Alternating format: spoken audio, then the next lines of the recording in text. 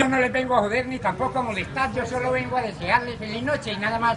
Pero feliz noche si así se pudiera decir, ya que con el IVA encima a todos nos va a incidir, porque la política de ahora deshonesta y muy cochina, mire que ahora sí la tenemos metida en la cocina, porque si usted vista huevo, una carne, un patacón, ahí está pagando el IVA y está apoyando un ladrón, porque Colombia no necesita que le pongan más impuestos, Colombia lo que necesita es que se bajen los deshonestos, pues le llenamos las arcas y vuelven y las defalcan. Pero primero se acabe el hecho que los marranos, los políticos nos roban y nosotros le pagamos el IVA para la carne, el aceite y el jabón, para que el pueblo ya no coma ni se bañe por huevón.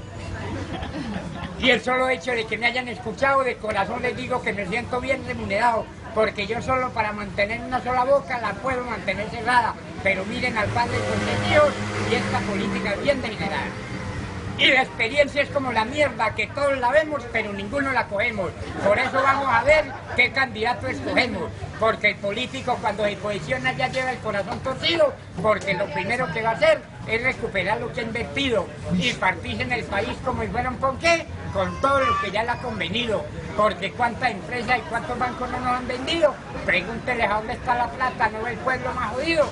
Porque después de la venta sigue la repartición y el pueblo que es el verdadero dueño se queda sin patrimonio por huevón.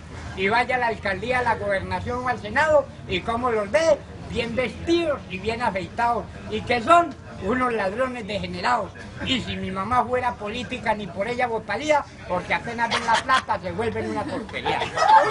Publicidad política regalada, porque la verdad y el pobre no valen nada.